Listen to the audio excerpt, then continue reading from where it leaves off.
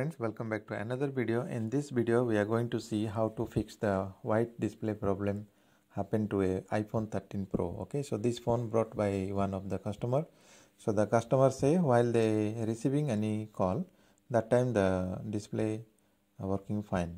The other time the display become white okay?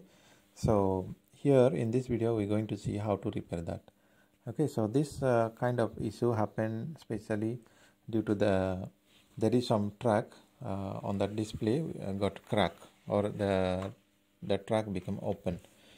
Okay so or they uh, break between in between. So we need to scratch that two point. Then after that we need to use the jumper wire to uh, repair that track okay so here we need to do some micro soldering. Okay so uh, here you can see uh, we are scratching off that uh, points after that we going to make a micro soldering okay guys so most of the time by repairing that track we can able to fix the display. Okay so let's see in this phone are we able to fix this or not?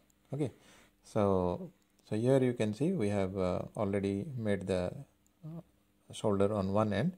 Then now we are going to make uh, one more soldering okay so this soldering method is called micro soldering. So under the microscope it looks bigger but uh, in actually these, these are very tiny.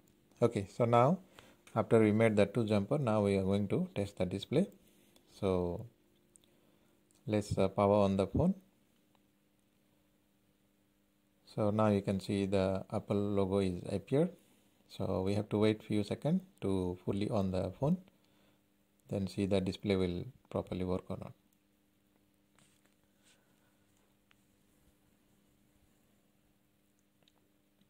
okay guys so now you can see that display is uh, properly on then the touch also working fine okay? So if you have uh, any this type of uh, white display green display problem you can approach to us